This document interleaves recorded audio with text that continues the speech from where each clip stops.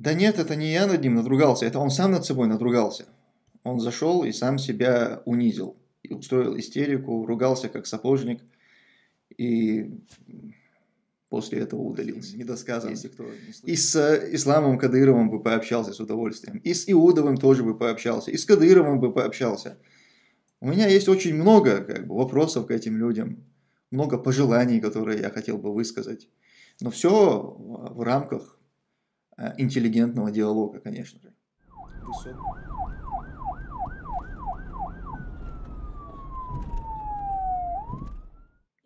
Томсо, почему на YouTube-канале Чикатарга Грозный отключают комментарии, скрывают лайки, дизлайки, под их э, видосами не отображается число, указывающее на количество лайков и дизлайков. Они скрывают статистику, потому что статистика удручающая, она портит настроение им, когда они видят эти дизлайки, когда они видят комментарии, оставляющие, которые оставляются людьми, а, недовольные, разумеется, критические. Это портит настроение по дешаху ихнему. Поэтому приходится все это отключать, чтобы глаз твой не огорчался в этом эфире. Слава Всевышнему, спасибо, что крушишь лицемеров и подлость, еще и шутя. Про плясунов, пивунов ты все объяснил. Допустимо ли в твоем вероисповедании писать, читать и распространять героические стихи? Да, конечно, стихи это а, в исламе всегда это как бы практиковалось, это приветствуется, никаких проблем нет. А в исламе запрещены музыкальные инструменты. То есть, если ты стихи накладываешь на музыку, то это уже получается песня. Вот это вот нельзя. Отдельно стихи можно. А, даже в каком-то, вот как в форме нашида бывает, я не знаю, знаете вы, что такое нашид или нет, это такие почти, можно сказать, как, ну, очень похоже на, на, на какие-то песни, но там нет никаких инструментов, то есть люди просто своим голосом как-то создают. А мотив это, по сути, такие стихи. То есть все то, что не подразумевает музыкальных инструментов, а какой-то мелодии, созданной музыкальными инструментами, в том числе и даже если это не, не какой-то конкретный инструмент, но, например, электронная музыка, это все как бы считается в исламе запретным. Ну, есть, конечно, такие отдельные адепты, как, например, э, тот же Шамиль Аляутинов, который не, не признает, что музыка запрещена. Такие мнения вы тоже, конечно, встретите. Но в целом, наверное, распространенное самое мнение – это запрете именно музыки, но не, не стихов. Стихи, ради бога. Читайте, пишите. Главное, чтобы стихи не несли в себе чего-то запретного. То есть писать плохие стихи в плане призывать к чему-то плохому, пропагандировать что-то плохое в форме стихов, конечно, нельзя. А если петь запрещено, почему птицы поют? Это крутой вопрос. Он поставил меня в тупик.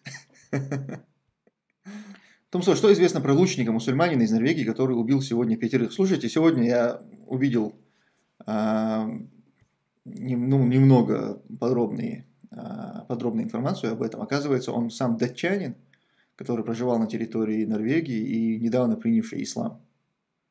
И это, конечно, очень нехорошо, что так, такое плохое преступление, и опять оно связано с мусульманином, и тем более принявшим ислам европейцам, это очень нехорошо. Конечно, я был огорчен этой новостью. Томсо, ты платишь налоги в бюджет Швеции? Если да, то каким образом? Ну, мне только вот на днях, можно сказать, дали позитив, то есть вид на жительство в Швеции. Поэтому а, до этого у меня не платил и не было такой необходимости, я не обязан был платить. Сейчас, имея вид на жительство, теперь я имею право здесь работать, соответственно, получать какой-то доход. И с этого дохода я, разумеется, должен буду платить а, налог Швеции. Как это все будет выглядеть, это все предстоит мне еще узнать, я пока не знаю. Ну что, скажи, пожалуйста, кроме слов, будет что-нибудь на деле? Ведь ты говорил, когда получишь убежище, будет по-другому. Встретишься с Дугазаевым и тому подобное. Что ты имеешь в виду будет по-другому? А что может быть по-другому? Ничего по-другому быть не может. Все будет э, так же.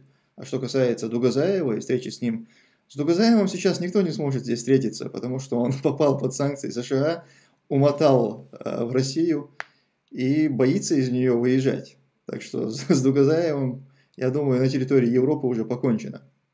И встречаться с ним никакой нужды нет. Ассаламу алейкум, Тумсо. Говорят, ты в чате над э, Даудовым жестко надругался. Почему ты это сделал? Да нет, это не я над ним надругался, это он сам над собой надругался. Он зашел и сам себя унизил. И устроил истерику, ругался как сапожник. И после этого удалился. Если кто не слышал весь этот отборный мат из уст э, Иудова, то тоже можете перейти по ссылке к, на мой телеграм-канал. Там есть запись этого разговора. Ну, это, это, в принципе, олицетворение пути Ахмата Кадырова, прям вот какой он есть. Ну что, ты согласился бы встретиться и поговорить с Исламом Кадыровым на нейтральной территории, например, в Турции? Да с удовольствием, с удовольствием мы бы с ним пообщались. У нас много тем осталось с ним недосказанных. И с Исламом Кадыровым бы пообщался с удовольствием. И с Иудовым тоже бы пообщался. И с Кадыровым бы пообщался. У меня есть очень много как бы, вопросов к этим людям много пожеланий, которые я хотел бы высказать. Но все в рамках э, интеллигентного диалога, конечно же. Высок, высокообразованного, какими они и являются. Понятно, один академик, второй там э, председатель парламента, третий Ислам Кадыров, я даже не знаю, кто ты там. По-моему, Ислам Кадыров окончил Гудермесский гуманитарный, какой, не, Бахачкалинский гуманитарный институт. А, его филиал в Гудермесе, конечно, оканчивал. Ну, в общем, это очень такие образованные ребята. Мы бы с ними, наверное, пообщались. Было бы очень интересно. Тумсу, ассаляму алейкум. Как прокомментируешь то остервенение, с которым набросилось с которым э, набросилось российское сообщество на дагестанцев в связи с последними событиями. Алейкум ассалям. Я, честно говоря, не сильно слежу за этой темой. Я приблизительно знаю, о чем ты говоришь. Это, по-моему, в метро там а, трое, кажется, избили одного. А, и еще, по-моему, какой-то был, было какое-то происшествие, но я сейчас не помню, что это именно было. А, ну, как это прокомментировать? Я не знаю. Я, я смотрел на этих задержанных, и, честно говоря, абсолютно их не жалко. А, то, что этому придается большее значение, чем должно, там даются какие-то медали, и так далее. Ну, это такие реалии российские, друзья, что поделаешь. Когда дагестанцы на Олимпийских играх берут золотые медали, они россияне. Когда они что-то делают там в метро плохое, то они сразу становятся выходцами с Кавказа и дагестанцами. И за, за борьбу с ними там даже какие-то медали выдаются. Это, конечно, все смешно. Но оправдывать эти вещи, конечно, тоже нельзя. То, что они там а, делали, как они себя вели, это не подлежит оправданию. Конечно, за это нужно наказывать.